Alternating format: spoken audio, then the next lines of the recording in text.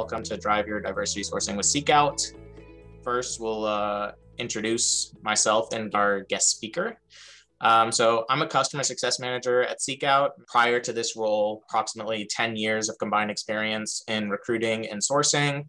I started at a nationwide recruiting agency and also corporate recruiting before transitioning into the customer success role, where I uh, now train users on how to use Seekout. And then also very happy to introduce Gage Nordloff over at West Monroe. He's a Chicagoland native and a graduate of DePaul University. We've been working together for the past several months um, as West Monroe is one of our recently onboarded accounts. And they've shown a lot of success. And specifically, Gage has some uh, things to share about his experience in our partnership, uh, which is going to you know, be the topic of this discussion. Again, feel free to ask any questions or chat throughout. And um, I'm going to start with a quick overview of Seekout, and then he'll get into his presentation specifically.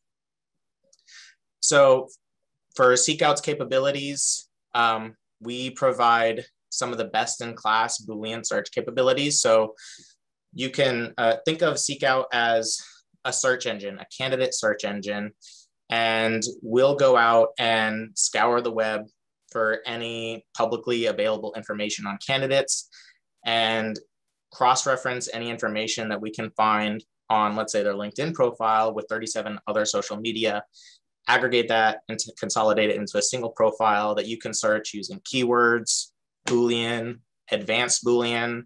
You can use filters to narrow down by location and other you know there's there's specific filters where you can find specific experience that someone lists and then other things that they in that we can infer about their experience like diversity um, clearance security clearance level etc those are some things that maybe someone doesn't explicitly put on their profile but we can determine based on other things like you know their job title and their company name. If they had that title then they probably have certain level of clearance etc um, so you can use those to find candidates. We have power filters that are pre-built searches on the back end so that even a brand new sourcer or recruiter can just pop into Seekout, click on a power filter and find all kinds of different, let's say Java developer candidates without having to know you can put Java or J2EE or JEE or Java Enterprise Edition.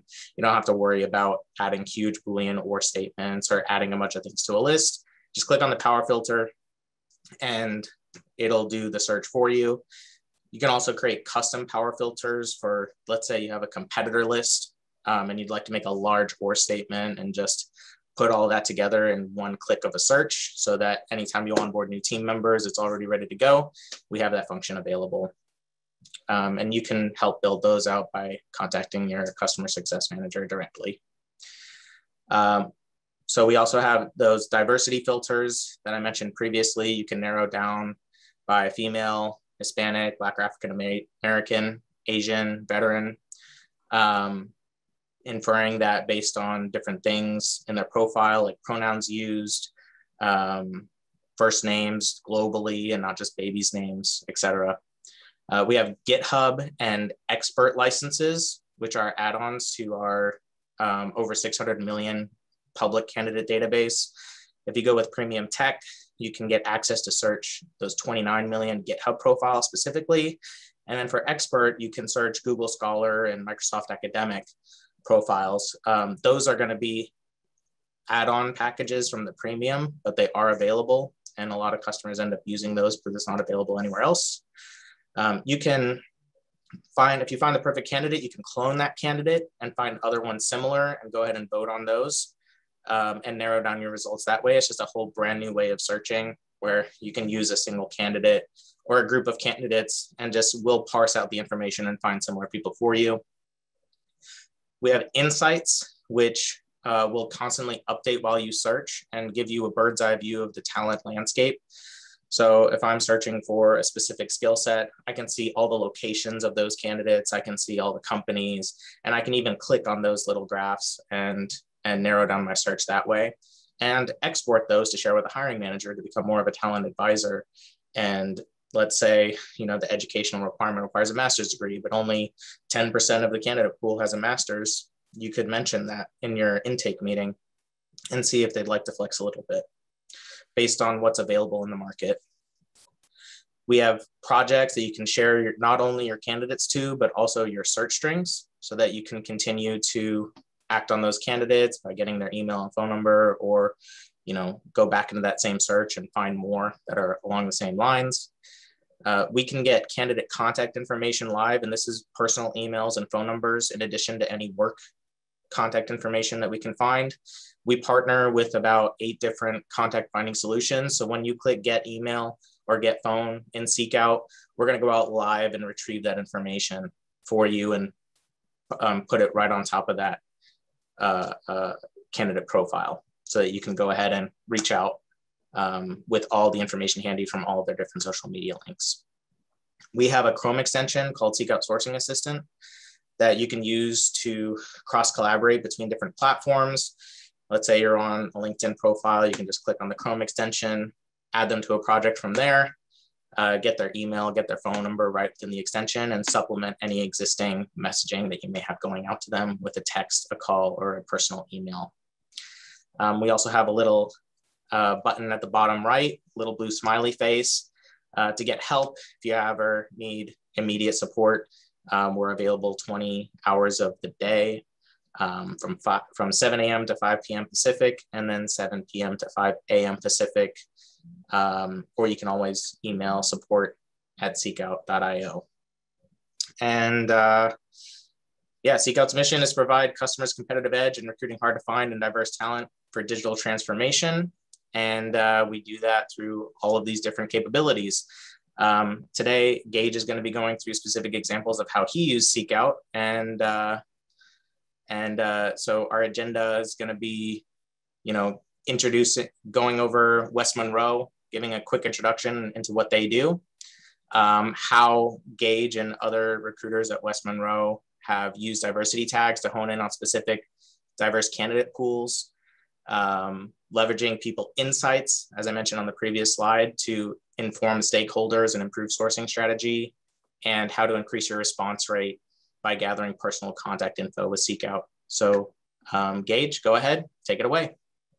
Awesome. Thanks for the introduction. Uh, very excited to be here uh, in the spirit of vulnerability, my first webinar. So almost as nervous as excited. Hopefully it doesn't show too much, but uh, thankfully of the 400 people who signed up, only half of you are here live. So only half of you can kind of laugh at me throughout this process. But no, um, honestly, it's been an awesome partnership. Pretty early stages still. I think we started working with them on a trial period in the fourth quarter, but um, I'll go through a lot of those things he Mike just outlined in terms of capabilities. So first, you know, the best part about being participating at host a webinar with one of your vendors is you get to talk about your company. So uh, for those of you who don't know West Monroe yet, uh, you definitely will. Um, we are a high growth business and technology consulting firm. Here's a map showing our offices. We're headquartered in Chicago, but as you can see, we're all across the country. Uh, we'll be celebrating our 20th anniversary next year, which is very exciting. But one of the reasons we use a tool like Seekout is because of our extreme amount of growth. So, you know, more than 1,500 employees today, but growing rapidly. We've already hired 372 people. It's more than that at this point this year with an acceptance rate of over 84%, which is really fantastic. Um, you know, 80% of our 2020 interns actually converted into 2021 full-time hires. And then in April, we surpassed 50% of our 2021 hiring plan. So as you can see, you know, you know, we're on pace for just under 600 hires. It's been an incredible start to 2021 we need partners like Seekout to help us achieve these goals. But a little bit more about us, I think the things that make us special, right? We're 100% employee owned. You know, this is a key differentiator. It's a major reason why I joined the firm. Uh, it's more than a financial reward. It really drives our people first culture. And then we also have a really strong emphasis on making a positive impact on our, our communities as well. You know, we've done over a million dollars in pro bono project work, you know, over 9,000 volunteer hours a year. And We've even done over 800,000 in public donations as a firm. Um, the last thing I'll highlight on this slide is just, you know, we are a national firm, but we do have a uh, partnership for global clients at, with Bearing Point in Europe. Um, this is this slide here is one of my favorite slides about West Monroe. You know, I'll, I'll read this part out, out, because I think it's important. You know, we work with diverse multidisciplinary teams made up of industry, operational, and technical experts who break down silos and create quantifiable financial value for our clients. I know boring reading right off a slide, but I think it's important. Uh, hit on spe specifically that bold part. We don't just come to the table with you know what we're going to do from a you know qualitative standpoint we always lead with that quantifiable financial value for our clients and it's a big reason why we're successful um, the other thing is a highlight on this slide so if you look over on the right side over at the top you're going to see a breakdown of the core industries that we work within um, you're also going to see over to the right on the middle um, the different functional expertise areas and then the bottom the technical expertise areas that we bring um, our level of expertise to, to the clients that we serve. So it, just looking at those industries and looking at the areas that we focus, you know, a major reason why we've continued to grow throughout even the pandemic is because our deep roots in technology and our expertise in areas and industries that have also grown throughout the pandemic. Um, and then finally, on West Monroe, you know, as we work toward building a more inclusive and diverse workplace, you know, we, we lean on our employee resource groups that help foster those principles and help bring our organizational mission, our values, and our strategy to life. Um, you can see them highlighted there in the middle of the screen, you know, and as we partner to the left there, we, we, we have really fantastic partners that help guide us and, and help us get to where we want to go and achieving our hiring goals. Um, and I think it's important to note, you know, because of tools like SeekOut, we are currently tracking at or above our diversity hiring goals in all of our categories. Um, that's cool to say today, um, but you know, like most companies, we're not celebrating that. You know, we have a long way to go, uh, which is why we continue to invest in tools like SeekOut to help us grow and get us to where we want to be. So we're going to open up with a poll here. Let me see if I can not mess this up. So I'm going to launch it here. Go ahead and uh, everybody who's attendance, go ahead and uh, fill out your answer. Mike, can you see? Yeah, okay. I see people are starting to respond. Yep. Yeah, I can see it just now. Looks like we're getting a lot of responses in. Thanks, everybody. Yep. So as you can see, what the question is, what is your top sourcing challenge in 2021? We've got getting candidates to respond. We've got finding niche skills. We've got finding diverse talent and then leveraging data to improve your recruitment process. So I'll go ahead and give just another second. We've got most people maybe we'll get to 100 there. I think that's pretty good. We have a decent idea here. So uh, I'm going to go ahead and share the results. So you can, you can see the results. I believe so. Yes, yes. so That was about like 101 people responded. Um, and I can see the breakdown as well. So looks like the front runner is getting candidates to respond. I think everyone should be able to see this as well. Yeah, this is perfect. I mean, it looks pretty, yeah, getting cancer respond. I'm actually shocked by it. Um, and I will address that literally on the one of the last slides that I talk about. But you know, I think it's really safe to say, I guess, I guess leveraging data to improve your recruitment process, maybe not for this group. I'm going to challenge you on that with some of the slides that I put together here. But I, I, think it's safe to say that while one of these might be your top sourcing challenge, we probably, if we had the option to, would have all chose, you know, two, maybe three, maybe all of them.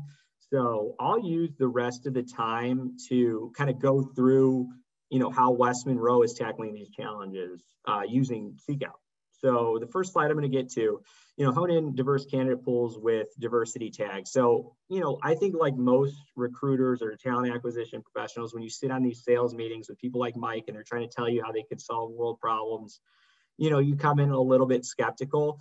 Um, this right here was the very first thing that I was blown away by with SeekOut is their diversity tag. So you can see a picture on the left there. It shows the different tags, but it's because I've yet to come across another sourcing tool that offers such, I would just say, a simple, user-friendly approach to ser searching for these demographic groups. You know, their diversity tags, they use machine learning and AI to classify candidates into appropriate categories, and their current precision and recall is above 90%.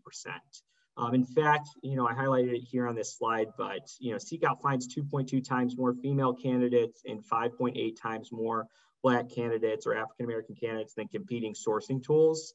Um, I think that's pretty incredible and 90% recall and then some of the stats they have to kind of back it up. Um, and I, like everybody else, like if you're a sourcer on this call or a recruiter on this call, you know, we're all guilty of using some of these old school tactics. You know, I remember sitting in the train, one of the first trainings I did when I got into recruiting in 2014, and it was, you know, searching for, you know, top female candidates by the top 100 female names or, you know, we've even run uh, searches and campaigns to target, you know, Black uh, college students at HBCUs. And I actually sat on a webinar hosted by Seekout's diversity leader a few weeks back. Some of you probably got to do that as well. And she shared some pretty crazy stats that blew my mind. And it, I would say if you walk away with anything, walk away with just kind of th these numbers in mind. If you search for female candidates based on the top 100 female names, you're only getting 20% of all female candidates. And within that pool, it's predominantly white right? If you go and you're searching for just, you know, black college students and you're solely targeting HBCUs, that's only 9% of black college students in the country. You know, I'd rather have 90% recall on a large population than 9% of the total group that you're fishing within. It's just not, it's not effective ways for searching for these diverse candidates. So, you know, we piloted Seek Out for two weeks back in December. Um, I'm, if you haven't used the tool yet, hopefully some of this stuff will get you excited about it. But in that two week period, we added I, as a ridiculous number of candidates into our ATS, countless numbers of candidates, you know, that we weren't seeing in some of our search sourcing strategies from other tools. We actually, in those two weeks, identified two hires, one of which was a senior level leader in our firm and a role that was open for more than two years. Um, so this instant success was a deal breaker for us. You know, we went from, I think, 10 licenses to doubling that number almost instantly. And then, you know, I can personally say a position that I filled in partnership with our sourcing team this year um, was our head of I&D. I think they marketed it for the webinar, but our head and our leader for I&D at West Monroe, you know, she came from using these filters um, in Seek Out. And we've been working on that search for maybe three months prior to even having access to the tool. Um, and the last thing I'll highlight on this slide here is that image at the bottom. So you can see it's a profile picture with a cat. You've got the, instead of the candidate's name, the initials. No secret here, this is my profile, but Seekout offer uh, Seekout also offers a blind hiring mode, um, and that's what it would look like if you turn it on. You know, unconscious bias is real. It's talked about like crazy. We've all been in trainings on it, and any little thing you can do to help address that unconscious bias is going to help you when it comes to sourcing and recruiting for diverse talent. so I, I like that image. I wanted to share it because I think that it's a good uh, way to kind of help mitigate some of that. So the second thing I'll talk about is that people insights. And so that that 4%, I think it was on the poll where people were talking about, you know, using leveraging data to inform your sourcing strategy doesn't seem like it's top of mind. I can tell you it is like one of the most top of mind things for me every day in the role that I'm in. So, you know, Seekout's People Insights offers a bird's eye view of any talent pool. Um, you can see aggregate data about candidate locations, uh, their employers, their titles, their skills, their employment history, diversity, and more. Um, so I took three screenshots and images um, from a, a, search I did a few weeks back. So this is a pretty simple example I'll talk through here. Um, this information is a, from a People Insights uh, report. I was looking for uh, Black or African American director level talent at some of our top competitors, so 25 other consulting firms that we would compete with for talent. So the graph at the top left you can see on the left, there's two graphs and on the right, there's the one. The two on the left are for Chicago and the one on the right is for national. So, but we'll start with that top left graph. So that is just our top 25 competitors in the Chicago market broken down by the diversity tags that you can see in Seekout. So something that jumps out right away, 1.1 thousand candidates classified as Black or African American. Um, at the bottom left, uh, that graph just shows the total number of those candidates at the director level um, in, in the Chicago market still. So what you'll see there, if you can't see it, I'll, I'll just tell you, it says eight. That should make you want to pass out. So if you're looking at like targeting a specific demographic pool of candidates and, and you realize of the top 25 firms we're competing with at these exact like these director or leadership positions there's eight candidates in chicago woof. Uh, so that's a that's a real gut punch, right? So then what I did on the right is the a graph nationally, and that's going to show you the total number of black candidates at the director level nationally. So you can see right away, okay, Atlanta there's 106. In New York, it's just a fraction of a percentage point less, and there's probably about 100. DC, we've got more. Houston, we've got more. So we've got, you know, four other markets with more candidates. So I use these graphs because I think it's really, it's a really easy story to tell, right? So eight candidates tells you a story right away. From a sourcing strategy, I need to expand into additional markets, right? And, and, and that's just blatantly evident. Um, but it also gives me the power to really inform my stakeholders, right? So what, what does this tell me? You know, our search timeline, it's not going to be quick.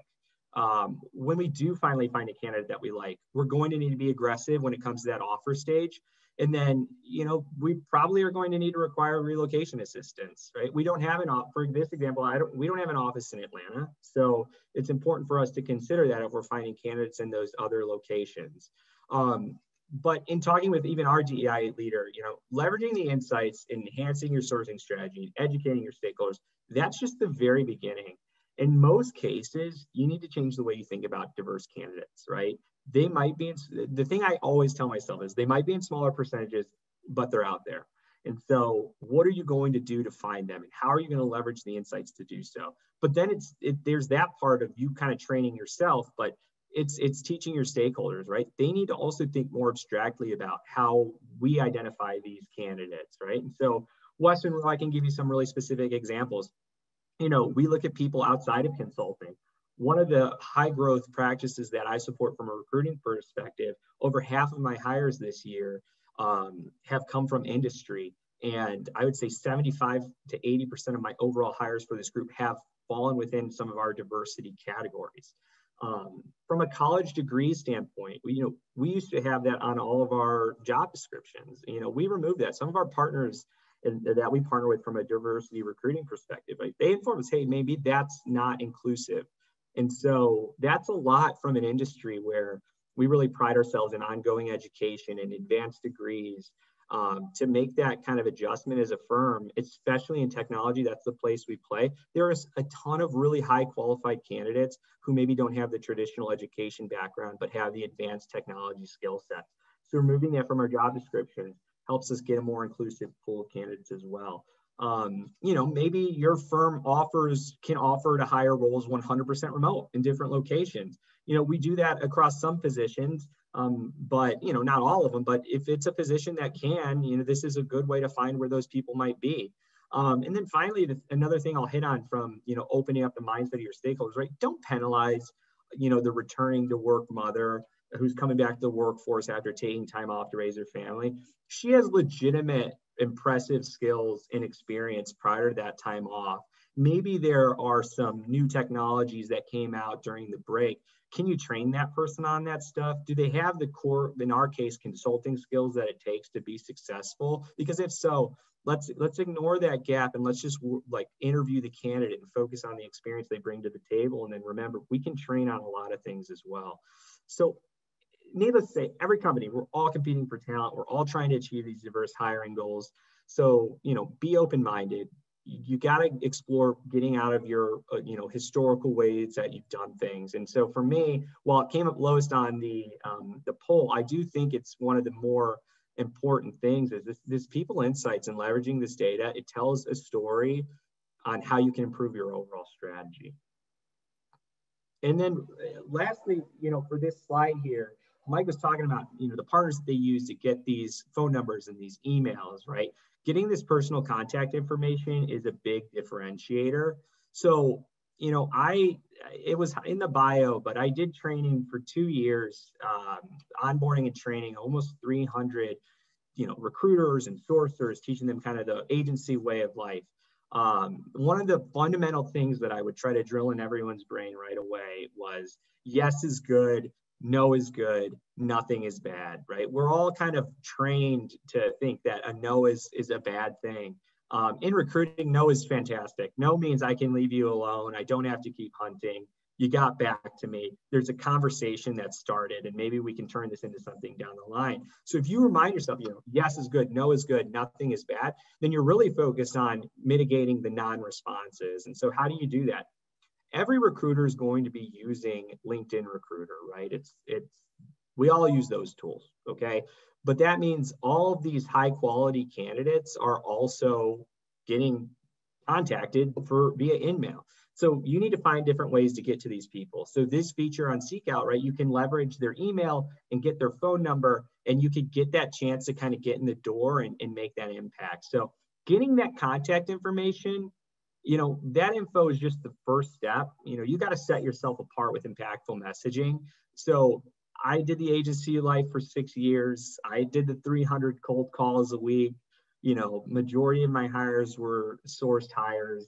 Uh, and I can tell you safely, hand to heart, I'm not doing 300 cold calls a week. West Monroe, talent acquisition team isn't that intense. We're intense, but not that intense. Uh, but what I can say is I'm not afraid to get on the phone still, especially if I'm going after really hard to find talent. And so two things that I'll point out with, you know, just kind of old school tactics that I was kind of taught and that I continue to train as I onboard and trained recruiters is your tone and energy in the voicemail. That's as important as the messages. If you leave a voicemail and you sound like you don't want to leave a voicemail, you are not getting a call back. That's that's very obvious. If you call somebody and they answer the phone and you don't sound excited to be talking to them, they're going to hang up with you on you or just tell you they can't talk. So bringing that energy, I think, is really, really important. The second thing I'll highlight uh, from a voicemail standpoint, even a phone call when you get somebody live, I never would advise leading with your name and who, where you're calling from, right? Hi, you know, hi, Mike, this is Gage from West Monroe. That is the second in the voicemail, your voicemail gets deleted because now they know who you are. Now they know why you're calling. Maybe they never heard about West Monroe. They don't, they think you're just trying to sell something. That is the end of it. Um, and so for me, it's all about starting with the candidate's name and the reason why you're calling. You know, hi Mike, the reason I'm calling is because what this does is it allows you to get kind of through that next level of the gatekeeping on a, on a voicemail or, or message. They don't know who you are. They're, they're like, who is this? Why are they calling? Um, and so they're they're at least going to hang on to at least hear that part of it. And if you can get them with that value prop, the reason I'm calling today, um, you might have a better odds of getting them to call you back, or you'll have them more engaged on the front end of the call. Um, and then finally, with the email side of these things, right? So there's tons of content online. We all know about this content. You could you could leverage um, just Google best recruiting, you know, emails and subject lines. But I'll, I'll, highlight some of the ones that some of the main points that I like to make or that we kind of practice here. So having that impactful subject line, that's huge. So um, it's funny. My my wife's also in talent acquisition. We talked about uh, I, I, told her I was going to use some of our, our go-to, I should say our go-to, nothing's that unique where we're the only ones using these subject lines, but we battle on whether or not we should share our best ones because we're all competing for talent. But I'll tell you the two that I have, I have a lot of success with, and maybe you can leverage those as well. But the first one is I'll use somebody's name at our company. So in this case, if I'm trying to get hold of Mike, I'd say Mike at West Monroe would be my subject line. Sounds kind of crazy. Like, why would that work? Um, I could tell you the differentiator and just calling out somebody's name in the subject line, it, it immediately tells the candidate that it's not a mass mail, right? Unless I'm only sourcing for Mikes, uh, then you know th- if that's what they're thinking, no candidate thinks that. Then that's one thing. But honestly, using that that tends to get me a pretty high response rate. And the second thing um, I'll do is usually say what's next after fill in the blank the company they're working at? question mark. And it's another way right? I'm, I'm specifically calling out your company. Granted I could be mass mail in mailing or, or emailing candidates all at one company but um, the idea here is the candidate feels like oh you looked at my profile you realize you know who I am where I'm from and and it's giving them a question to answer. What's next, right? So some of the other bullets to hit on here, get to the point and quickly explain the why behind your messaging. Um, you know, it's same thing with the voicemail tactic. Okay, the reason I'm calling is X, Y, Z. Uh, finally, you know, I guess not finally, but personalize that message. Um, have something specific in their background and create a conversation, the call to action. Have something, right?